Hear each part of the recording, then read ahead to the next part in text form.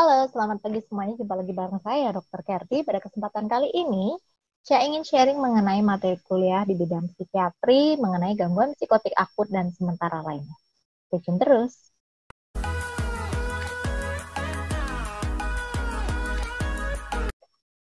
Jadi ini sebelum kita bahas lebih lanjut, bagaimana algoritma dengan pasien dengan gangguan psikotik. Jadi gangguan psikotik itu khas gejalanya, itu ada waham, halusinasi, bicara kacau, atau perilaku kacau. Kita pikirkan apakah ini akibat efek fisiologis langsung kondisi medis umum? Jika iya, maka kondisi itu adalah suatu gangguan psikotik akibat kondisi medis umum. Jika tidak, kita pikirkan apakah ini efek langsung fisiologis dari suatu saat? Jika iya, jawabannya adalah gangguan psikotik akibat SARS. Namun jika tidak, kita pikirkan lagi apakah ada gejala fase aktif schizophrenia sedikitnya satu bulan? Jika iya, kita pertimbangkan lihat apakah di sini ada suatu depresi mayor atau episode manik bersamaan gejala fase aktif. Jika iya, apakah total durasi episode mood dan relatif singkat dibandingkan dengan gejala aktif? Jika tidak, terdapat halusinasi dan waham sedikitnya dua minggu tanpa gangguan mood. Kalau iya, itu jadinya afektif. Jadi afektif antara gejala skizofrenia dan gejala afektif, baik manik atau depresif, itu sama-sama menonjol. Namun jika tidak, gangguan mood dengan gejala psikotik. Jadi dominan gangguan moodnya dan psikotiknya hanya bersifat brief atau singkat, di mana mood dan gejala psikotiknya ini biasanya adalah selaras. Kalau moodnya dia pasien merasa depresi, maka uh, gejala psikotiknya adalah berupa waham bersalah atau waham nihilistik. Lanjut lagi ke atas ini, apabila depresi mayor atau itu bersamaan bersamaan gejala fase aktif, dan jika tidak, apakah durasinya sedikitnya 6 bulan? Jika iya, pasien skizofrenia, namun jika tidak, ini mengacu pada DSM-5 ya, jadi dia form. Jadi kalau pada DSM-5 itu dikatakan skizofrenia kalau sudah 6 bulan, sedangkan PPDGJ 3 dikatakan kalau satu bulan. Jadi kalau misalkan mengacu pada DSM-5, gejala pasien 1 sampai 6 bulan itu masuk dalam gangguan skizofrenia prop. Kemudian kita lihat di sini apakah wahamnya tidak bizar dan sedikitnya satu bulan. Jika tidak, itu pikirkan apakah durasinya kurang lebih dari satu hari namun kurang dari satu bulan. Jika iya, itu adalah gangguan psikotrik akut sementara. Namun jika tidak, maaf saya bersin, itu adalah gangguan psikotik yang tidak terklasifikasikan. Balik lagi ke sini, wahamnya nggak besar, namun ada selama satu bulan. Kita lihat di sini, apakah ada episode mood yang relatif singkat dibandingkan durasi periode waham. Ataukah ada waham muncul hanya sepanjang episode mood? Jika iya, itu adalah gangguan mood dengan jadi psikotik. Namun jika tidak, itu adalah gangguan psikotik yang tidak terklasifikasikan. Balik lagi ke sini, Apabila dia itu adalah moodnya singkat dengan dibandingkan durasi periode waham, jika kita temukan iya, selain waham, apakah fungsi tidak terganggu secara jelas? Misalnya, berarti gangguan mood dengan jala psikotik, namun jika tidak adalah gangguan psikotik yang tidak terklasifikasikan. Oke, kita kembali lagi ke sini. Jadi di sini kita akan membahas mengenai apa saja bagaimana sejarah dari psikotik akut, bagaimana epidemiologi dari psikotik akut, bagaimana etiologi dari psikotik akut, bagaimana menegakkan diagnosis dari psikotik akut dan cara penanganan gangguan psikotik akut dan sementara lainnya. Dan terakhir adalah bagaimana prognosis dari gangguan psikotik akut. Jadi di sini diagnosisnya yang pertama itu dikenal dengan istilah amensia. Itu dipublikasi oleh Theodore Mermet di mana dikatakan Gangguan psikotik dengan onset akut yang ditandai dengan kebingungan, agitasi, halusinasi dan delusi yang berubah cepat dan pemulihan penuh terjadi dalam beberapa minggu atau bulan.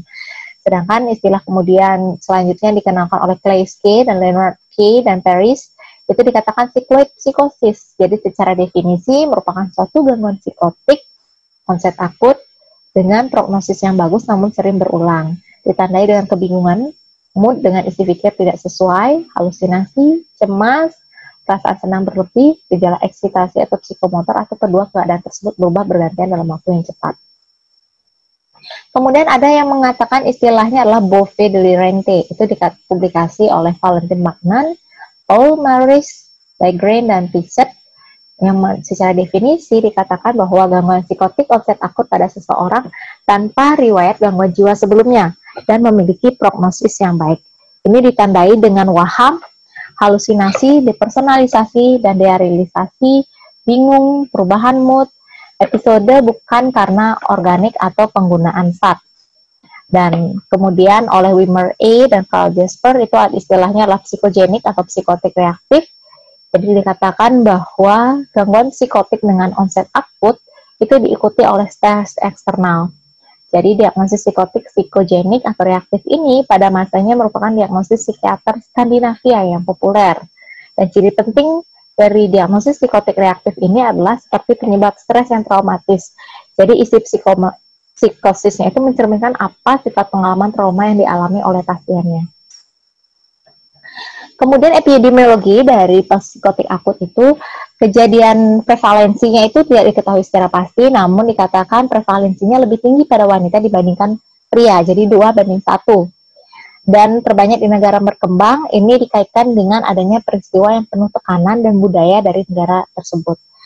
Tersering terjadi pada kelas sosial ekonomi menengah, jadi mungkin karena adanya suatu teori yang mengatakan bahwa orang yang mengalami psikotik akut mungkin banyak mengalami tekanan terutama pada golongan sosioekonomi rendah atau mungkin nutrisi yang diberikan kepada mereka dan kelas sosial ekonomi rendah itu kurang. Jadi perkembangan dari sel-sel otaknya itu tidak berkembang dengan cukup baik. Atau pasien dengan memiliki gangguan kepribadian sebelumnya misalkan sisoidka atau kasih setipal atau uh, gangguan kepribadian atau ciri kepribadian yang paranoid. Dan sering ditemukan seperti akut ini pada imigran Psikotik akut ini itu terjadi pada usia yang muda, sekitar 20 sampai 30 tahun dan berkembang di negara yang berkembang itu terjadi lebih cepat. Apa saja sih etiologi dari psikotik akut ini? Penyebab pasti belum diketahui, namun beberapa hipotesis yang ada atau teori-teori yang ada, misalkan yang pertama adalah teori genetik. Teori genetik mengatakan bahwa pasien psikotik akut ini sering terjadi pada riwayat keluarga dengan gangguan mood seperti depresi atau gangguan bipolar. Yang kedua, menurut teori psikodinamika, bahwa pasien psikotik akut itu terjadi akibat kemampuan yang buruk sebagai mekanisme pembelaan atau pelarian dari situasi yang menakutkan atau tekanan.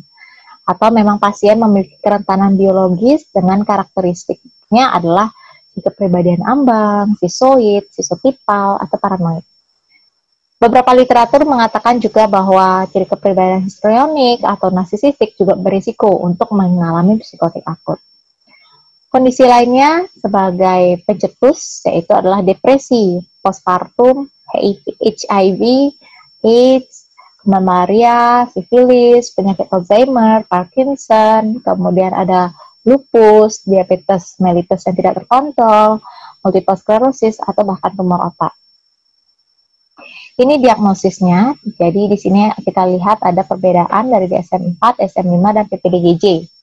PPDGJ atau ICD-10 ya dalam hal ini. Jadi kalau psikotik akut menurut DSM-4 itu onsetnya kurang dari sama dengan dengan dua minggu dengan terdapat gejala berikut ini. Apakah asosiasi longgar, waham, halusinasi, atau perilaku aneh. Disertai dengan stresor yang nyata atau tanpa stresor, di mana ini tidak termasuk pada gangguan mood dengan ciri psikotik, tidak disebabkan oleh gangguan afektif atau skizofrenia, tidak akibat suatu respon budaya atau agama, dan tidak akibat obat atau zat organik. Sedangkan menurut DSM-5, onsetnya itu antara satu hari sampai dengan satu bulan. Jadi ada perbedaan waktu di sini, dan terdapat lebih dari satu atau sama dengan gejala berikut. Ada waham, halusinasi, bicara tidak nyambung, perilaku aneh, baik dengan stresor ataupun tanpa stresor, dan ada juga dengan onset postpartum, jadi dalam onset 4 minggu setelah pernikahan, atau dengan penampilan yang katatonik. Di mana hal ini bukan disebabkan oleh gangguan mood dengan jarak ciri psikotik, bukan disebabkan oleh afektif atau skizofrenia, bukan akibat respon budaya atau agama, dan bukan akibat obat atau zat organik. Sedangkan menurut ICD-10 itu penegakannya adalah onset dari psikotik akut itu kurang dari sama dengan dua minggu dan gejala ini mengganggu aktivitas kehidupan. Gejalanya bisa berupa sindrom yang khas, polimorfik artinya beraneka ragam dan berubah cepat dalam satu hari, atau bisa schizophrenia like. Jadi bisa berupa halusinasi, waham, perilaku tertentu seperti kegairahan, aktivitas berlebih, retardasi psikomotor, atau justru mungkin gejala katatonik apakah bisa disertai dengan stres akut yang berkaitan. Jadi bisa tidak selalu ada ya, spesifik dengan karakter kelima. Jadi X0 tanpa stres akut, X1 dengan penyerta. dan tidak diketahui berapa lama berlangsung. Dan psikotik akut ini tidak disebabkan oleh gangguan mood, tidak ada penyebab organik akibat trauma kapitis, delirium atau demensia misalnya, dan tidak disebabkan oleh intoksikasi akibat alkohol dan zat.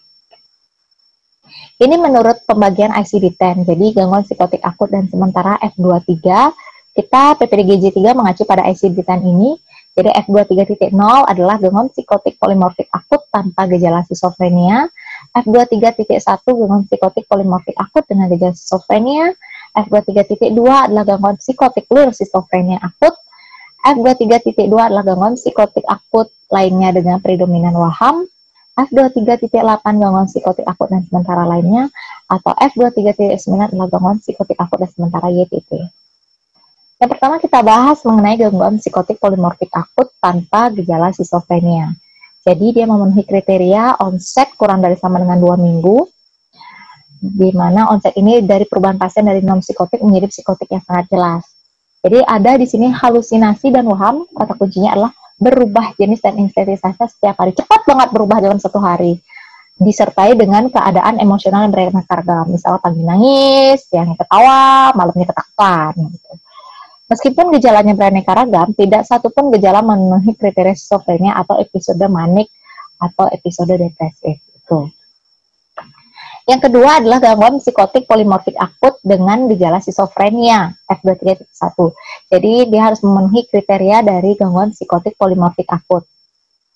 Jadi ditemukan adanya onset kurang dari sama dengan dua minggu, kemudian adanya suatu perubahan yang cepat dari waham dan halusinasi dalam rentangan satu hari ya dan disertai dengan gejala diagnosis skizofrenia secara jelas sejak munculnya gambaran klinis psikotik.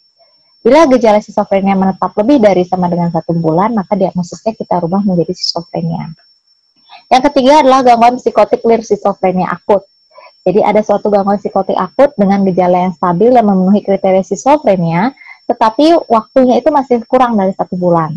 Jadi dia memenuhi kriteria onset gejala kurang dari dengan dua minggu, memenuhi kriteria skizofrenia, tapi lamanya kurang dari satu bulan, dan dia tidak memenuhi kriteria psikotik polimorfik akut. Jadi tidak ada perubahan yang sangat cepat antara waham dan halusinasinya dalam satu hari atau beberapa hari.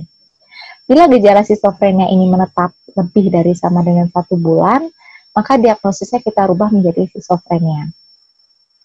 Yang keempat kita bahas adalah gangguan psikotik akut lainnya dengan predominan waham.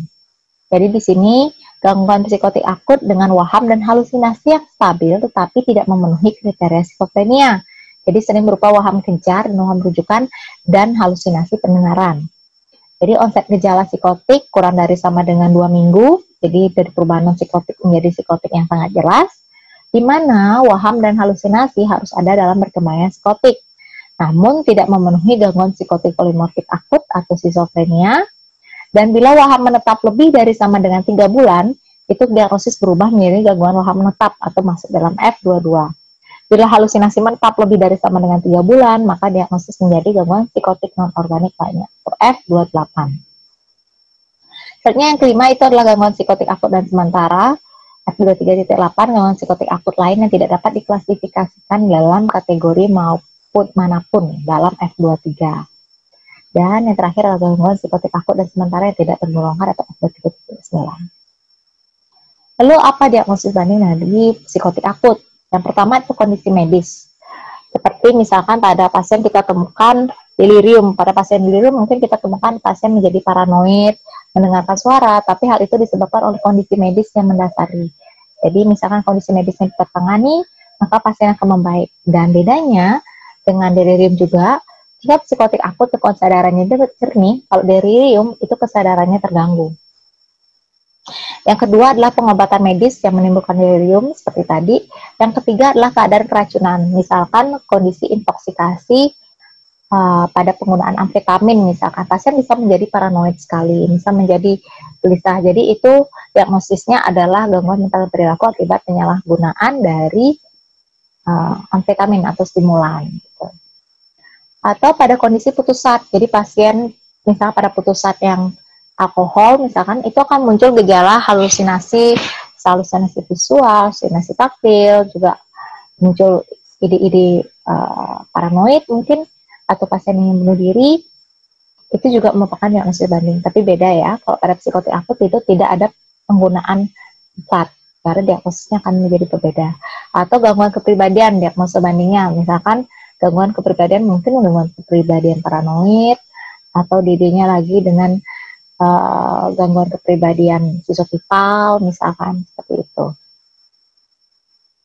Lalu bagaimana penanganan gangguan psikotik akut dan sementara? Jadi ada beberapa indikasi untuk pasien rawat inap. Yang pertama menjalani pemeriksaan lengkap.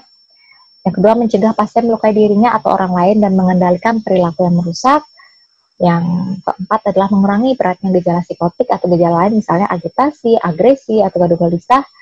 Dan tujuan yang lain adalah bisa dilakukan restrain atau isolasi bila pasien sangat agresif, di mana maksimal itu adalah 4 jam. Pasien restrain jadi dalam waktu 2 sampai 4 jam kita evaluasi jika pasien di bawah 4 atau pasien sudah lebih tenang, restrain itu harus dilepaskan. Restrain bisa kita bagi menjadi dua ya, mekanik atau kimiawi. Kimiawi bisa kita berikan injeksi haloperidol dengan atau tanpa benzodiazepam. Farmakoterapi tentu pilihan terapi adalah oral yang terbaik. Jadi, namun kadang kala pasien masih keadaan sangat gelisah, menolak minum obat, kita perlu penanganan yang cepat, maka di sana kita memerlukan uh, pilihan yaitu obat injeksi. Jadi yang sering kita pilihkan adalah haloperidol injeksi bila tidak ada kontraindikasi dengan atau tanpa benzodiazepin dalam hal ini diazepam. Dosis awal itu dosis sesuai dosis anjuran, kemudian obat oral itu kita titrasi perlahan-lahan dinaikkan setiap 2 sampai 3 hari hingga mencapai dosis efektif. Yang dimaksud dengan dosis efektif adalah dosis mulai berefek menekan gejala dan kita evaluasi setiap dua minggu bila perlu dinaikkan. Kemudian kita mengenal dosis optimal. Dosis yang mengendalikan gejala tadi kita pertahankan 8 sampai 10 minggu. Bila stabil kita turunkan pelan-pelan setiap dua minggu dan dosis maintenance itu dipertahankan antara 6 bulan sampai 2 tahun. Tapering off turun hingga berhenti tiap 2 sampai 4 minggu. Namun biasanya pasien psikotik itu sembuh sempurna dalam waktu 3 bulan. Prinsip pemberian terapi itu adalah start slow, go slow, dan kita menghindari pemberian polifarmasi. Jadi setiap hari kita review, observasi status mentalnya secara teratur, bagaimana halusinasinya, bagaimana wahamnya, bagaimana insomnianya, bagaimana proses pikirnya, seperti itu. Kita monitoring juga efek samping obat, terutama pada pasien antipsikotik tipikal, mungkin EPS bisa cepat sekali muncul, segera ya, bisa tremor, bisa atisia, kemudian bisa distonia, gitu. Atau mungkin pada antipsikotik atipikal, pasien menjadi uh, nafsu makan meningkat, jadi lebih gemuk, gitu, atau sindrom metabolik. Diperlukan waktu 2-3 minggu untuk manifestasi efek antipsikotik Nah, jika pasien membaik, kita lanjutkan pengobatan beberapa bulan setelah recovery. Namun, jika pasien tidak membaik, kita ganti dengan antipsikotik lain. Jika memiliki risiko kekambuhan, pertimbangkan pemberian long. Jadi, biasanya sih pada pasien kita, kalau pasien muda pertama kali, mungkin kita drug of choice untuk pasien pilihan obat oralnya adalah kita berikan risperidon. Dimulai pada dosis 2 kali 1 mg. Ini obat antipsikotiknya Psikotik kita tahu dibedakan menjadi dua, tipikal dan atipikal. Tipikal atau yang disebut dengan antipsikotik generasi pertama itu bekerja sebagai reseptor dopamin D2 antagonis. Jadi dia memblok dopamin di sana sehingga sangat efektif untuk gejala positif. Sedangkan antipsikotik atipikal atau generasi kedua, dia tidak hanya bekerja memblok untuk reseptor D2, namun dia juga memblok reseptor serotonin 5-HT2 sehingga dia tidak hanya efektif untuk gejala positif, namun juga efektif untuk gejala negatif. Ini jadi beberapa pilihan ketika kita melihat pasien dengan psikotik akut. Bila predominan gejala positif dan pilihan pertama kita adalah risperidon. Bisa juga aripiprazol, olanzapin. Namun bila predominan gejala negatif, maka pilihan kita masih risperidon karena efek sampingnya lebih sedikit dibandingkan yang lainnya dan aripiprazol. Apabila ada gejala gabungan positif dan negatif, maka kita pilihannya adalah risperidon, aripiprazol, dan ciprasidon. Sedangkan yang ini adalah pilihan kedua ya. Ini dosis obat. Jika antipsikotik tipikal, korpromazin target dosnya adalah 300 sampai 600 dengan maksimal dos adalah 800. Ini obat yang sering-sering aja yang akan saya tunjukkan flufenasin 5 sampai 15, maksimal dosnya adalah 20, haloperidol 5 10 dan maksimal dosnya adalah 20. Kemudian trifluperasin itu 10 sampai 20 dengan maksimal dos 35. Pada antipsikotik atipikal, misalkan aripiprazol 15 sampai 30 dosis target terapi, tapi maksimal dosnya adalah 30, clozapin 200 sampai 500, maksimal dos adalah 800, olanzapin 10 sampai 20, maksimal dos adalah 30, quetiapin itu 400 sampai 800 dosis target terapi, maksimal adalah 1000, Risperidon 4 sampai 6 dan maksimal dos adalah 8 setengah. Jadi di sini ada perbedaan antipsikotik tipikal itu sering efek sampingnya extrapiramidal syndrome. Sindrom itu bisa dari dystonia, kemudian bisa akatisia, bisa tremor atau parkinsonism, dan yang paling parah mungkin sering adalah tumbuh SNM. Sedangkan antipsikotik atipikal itu misalkan clozapin dan olanzapin ini paling sering sindrom metabolik, jadi pasien menafsu makan meningkat, kemudian dia cenderung mengantuk juga, sehingga pasien berat badan naik hingga jadi diabetes mellitus. Kemudian di sini juga pada golongan ini bisa temukan efek sampai antikolinergik ya pasiennya itu uh, jadinya matanya kabur, bisa meningkatkan risiko glaukoma, kemudian pasien bisa retensi urin, konstipasi itu sama juga dengan quetiapin, ini hampir mirip nih ketiganya. Sedangkan pada clozapin ada juga efek samping yang perlu kita perhatikan yaitu adalah agranulositosis ya. Jadi perlu dilakukan pengecekan rutin dan waspada. Sedangkan pada risperidon itu paling sering bisa menimbulkan adalah disfungsi seksual. Itu. Kemudian kalau pada tipikal lagi di sini klorpromazin itu sangat sedatif sifatnya dia. Ini pemberian obat injeksi, jadi haloperidol 5 mg per injeksi intramuskuler itu diulang setiap 30 menit dengan dosis maksimum adalah 20 mg per hari. Sedangkan olanzapin 10 mg per injeksi dapat diulang setiap 2 jam dengan dosis maksimum 30 mg per hari. Dan diazepam dosisnya adalah 10 mg per injeksi intramuskuler atau IV dengan dosis maksimum 30 mg per hari. Jadi kalau ini kita suntikan IV dilakukan dengan perlahan-lahan karena dapat menyebabkan depresi nafas. Jadi perlu monitoring yang sangat ketat. Kadang kita memerlukan kombinasi antipsikotik dan benzodiazepin. Gunanya apa? Adalah gunanya untuk menenangkan penderita atau menidurkan penderita. Namun tidak untuk pemberian jangka panjang. Jangka panjangnya tetap kita berikan adalah antipsikotik yang pertama. Selain farmakologi, kita pertimbangkan non farmakologi. Jadi di sini kita berikan psikoterapi suportif. Jadi mengurangi stimulus berlebihan, stres lingkungan, dan peristiwa kehidupan apa, yang terjadi pada pasien, kemudian kita berikan ketenangan melalui komunikasi yang baik, memberikan dukungan atau harapan, serta mengembalikan kepercayaan diri dan harga diri dari pasien. Kemudian kita menyediakan lingkungan yang aman dan toleran. Dan tidak lupa di sini kita libatkan keluarga untuk kita berikan psikoedukasi. Prognosis dalam psikotik akut itu produksinya baik, angka kekambuhan atau relate-nya sekitar 39 sampai 47 persen selama 3 sampai 4 tahun, dan 6 18 persen itu mengalami gejala residual dalam 6 bulan dan fungsi sosialnya jauh lebih baik dibandingkan schizophrenia. Demikian presentasi siang ini mengenai psikotik akut. Semoga slide ini atau kuliah sharing kuliah psikiatri pada hari ini bisa memberikan manfaat untuk teman-teman yang ada di rumah Apabila teman-teman menyukai konten saya ini, jangan lupa like dan subscribe tombol di bawah ini. Apabila ada pertanyaan yang ingin ditanyakan, saya persilahkan untuk melakukan di post di kolom komentar ini. Thank you for watching this video. Have a nice day. Bye-bye guys.